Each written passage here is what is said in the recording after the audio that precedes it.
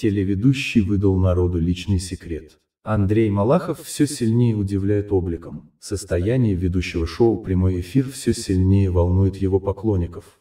В последние месяцы Андрей Малахов уже не выглядит таким свежим и бодрым, как раньше. В сети пронеслась волна слухов о том, что мужчина болен. И хотя сам он на этот счет не высказывался, подозрения фанатов не рассеялись. Дело в том, что звезда экрана сильно изменилась внешне. Пышную копну волос на голове мужчина сменил парик, да и его лицо стало каким-то раздутым. Если в прежние времена шоумен казался подтянутым и моложавым, то теперь возрастные изменения видны невооруженным глазом. Недавно Андрей Малахов обратился к россиянам в Инстаграм с предновогодним советом, снявшись на видео. В кадре он выглядел обрюзглым, одутловатым, хотя и был наряжен в модный строгий костюм. Мне не стыдно признаться, что до 12 лет я верил в Деда Мороза, начал свою речь телеведущий. Далее мужчина заявил, что мечты сбываются.